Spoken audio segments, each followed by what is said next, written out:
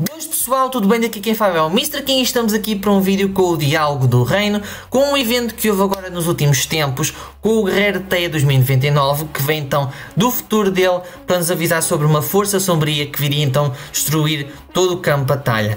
Não soube muito sobre isso mesmo com este evento, mas tem alguns detalhes que depois então mostrarmos aqui todo o diálogo eu vou estar a analisar, portanto fiquem então com esse diálogo de todas as semanas deste evento.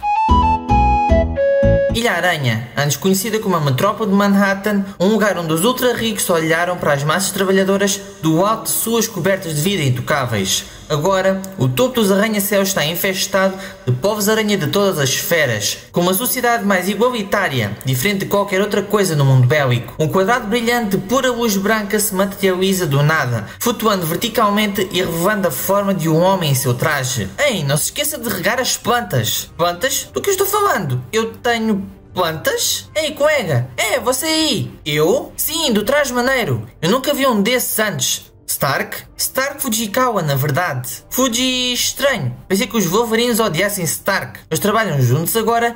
Meu sonho era colocar as mãos naquele adamante. Opa, desculpa interromper. Eu preciso falar com a Madame Teia. Pode-me ajudar? Ah, isso é fácil. Está vendo aquela torre com uma aranha tecida gigante? É ela. Mas hoje é sexta-feira e não é fácil conseguir ingressos para os shows dela, mesmo com esse seu traje lustroso. Shows? É, cara, a Madame Tay não é apenas nossa estimada líder, ela também toca bateria na melhor banda punk pop aranha desta parte de Queens. The Mary Janes. Por sorte, você está falando com o cara certo. Quando não estou salvando a cidade de bandidos, eu vendo ingressos para os melhores concertos do pedaço por um ótimo valor. Meu nome é Ben, mas pode-me chamar de o espetacular homem cambista. O Fulcrum, a torre mais alta da Ilha Aranha. Ela se partiu ao meio durante a Guerra Simbionte. Milhares de pessoas teriam morrido se não fosse pelos esforços dos heróicos guerreiros da Teia, que mantiveram o prédio inteiro com suas teias. Atualmente, o local é a sede sede da força da Guia da Aranha e palco dos eventos punk alternativo às sextas-feiras. Eu aí tinha um verdadeiro rock and roll das antigas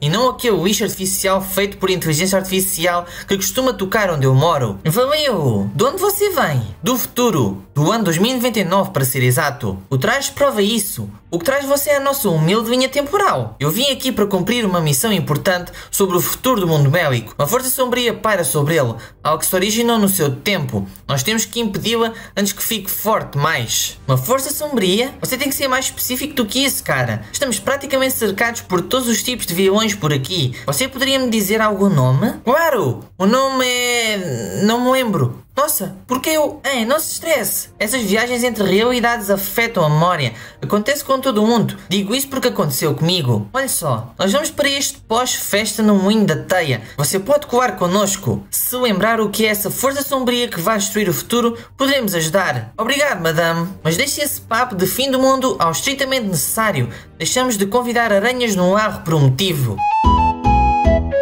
Unidade Central de Jarvis. Desde sua criação, este computador avançado teve apenas uma tarefa: ser uma máquina de futurologia avançada que constrói bilhões de realidades simuladas possíveis por hora na tentativa de superar a capacidade de previsão mística dos Vishanti. Sr. Stark, me mandaram. Não falo nada. Deixe Jarvis adivinhar. Varredura concluída. Relatório de análise de identidade disponível. Certo, vamos ouvi-lo. Um exame minucioso do traje avançado do estranho indica o uso da tecnologia Stark. E qual é a novidade? Os aranhas têm pirateado minha tecnologia há anos. No entanto, essa tecnologia está anos à frente de qualquer item disponível atualmente na Casa de Ferro. Como é? Impossível! Deixe-me ver este relatório. A orientação invertida do Tachyon aponta para um indivíduo de outra linha temporal. Estimo que o ponto de origem é no ano 2087 da Era Comum. Chegou bem perto. Eu vim do ano 2099. Eu voltei no tempo, mas parece que parte das minhas lembranças se misturaram no caminho. Então a Madame Teia me mandou até aqui para ver se você... Não, não foi perto do bastante ainda estamos bem acima da margem de erro aceitável.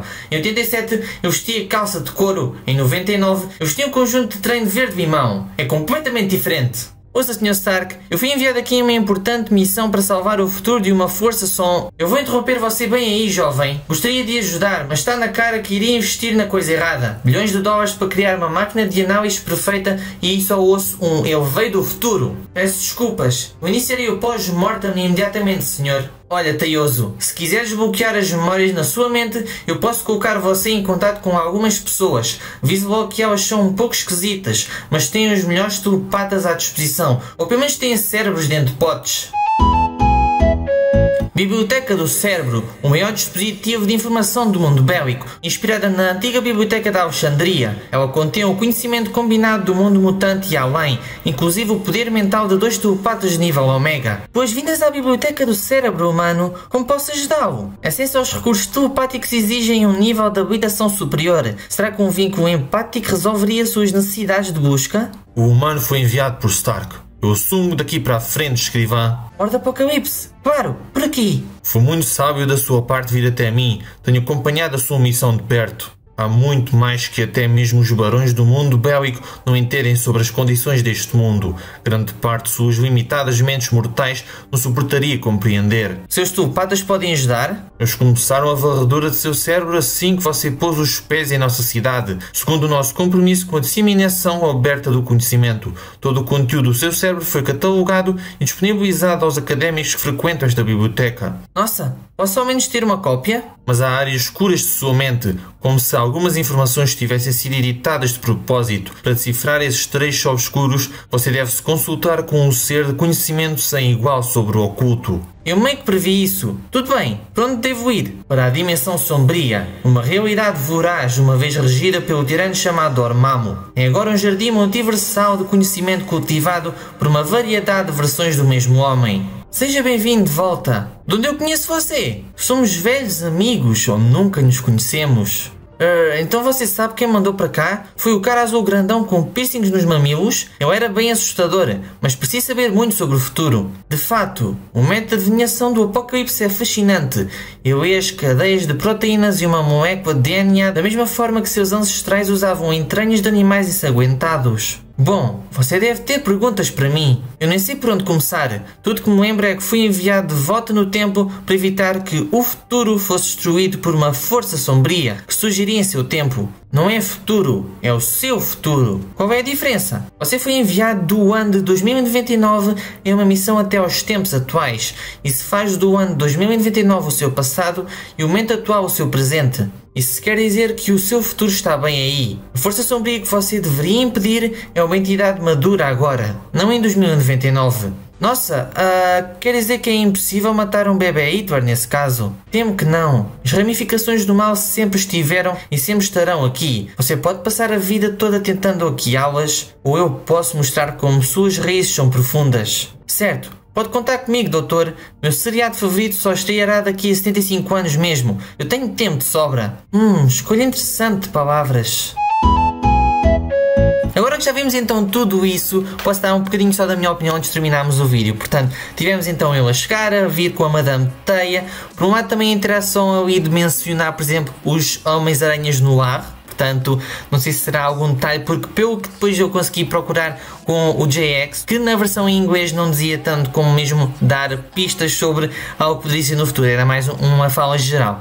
Mas tivemos então depois também a ter com o Stark, com a sua tecnologia não ser exata o suficiente para ele, a mandar-nos para o Apocalipse, que conseguiu copiar nossa mente, mas tem partes sombrias mesmo dentro da nossa mente que são difíceis de procurar.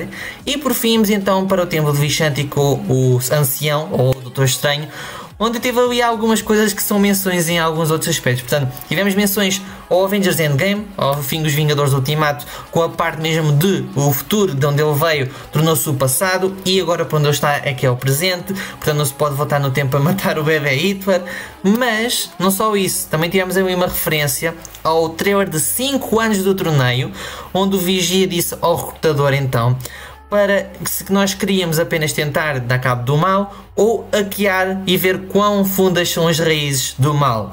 Que foi literalmente o que ele disse aqui. Portanto, será que o ancião é que ensinou ao vigia ou foi o vigia ao ancião? Porque a frase é praticamente igual, mesmo no mesmo sentido, de quer-se apenas cortar o mal ou ver quão fundas são as raízes.